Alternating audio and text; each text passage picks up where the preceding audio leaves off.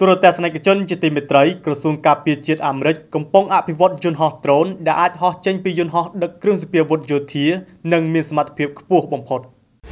ទីភ្នាក់ងារគម្រោងស្រាវជ្រាវវិស័យការពារជាតិរបស់មន្ទីរបញ្ចកោណគ្រោងនឹងធ្វើតេស្តសមត្ថភាពបញ្ជាយន្តហោះគ្មានមនុស្សបើកដែលហៅថាដ្រូនចេញពីយន្តហោះដឹកជញ្ជូនយោធានៅឆ្នាំ2019ខាងមុខនេះ នេះបើតាមការចេញផ្សាយដែលទីភ្នាក់ងារសារព័ត៌មានស្ពុតនិកនៅព្រឹកថ្ងៃពុធទី20ខែធ្នូឆ្នាំ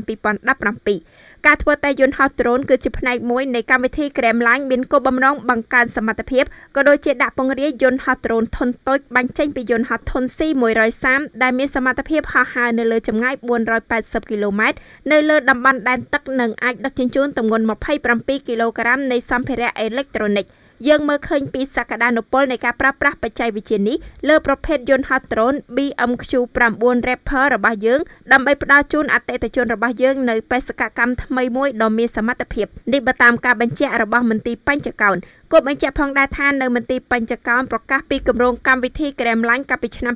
2016មានសំណួរជាច្រើនត្រូវបានគេចាត់សួរតាក់ទិននឹងបេសកកម្មនៃប្រភេទយន្តហោះដ្រូនធុនតូចប៉ុន្តែមន្ទីរបញ្ចកោណបានអះអាងថាពួកគេចង់ដំណើរការយន្តហោះដ្រូនធុនតូចប្រកបដោយប្រសិទ្ធភាពលើការចែកចាយនិងសម្របសម្រួលឧបត្ថម្ភធំដោយ website កំសាន្ត 188asia.com Sehome Technology អ្នកឯកទេសផ្នែកកាមេរ៉ាសុវត្ថិភាពតាមរថយន្តគេហដ្ឋាននិងការិយាល័យ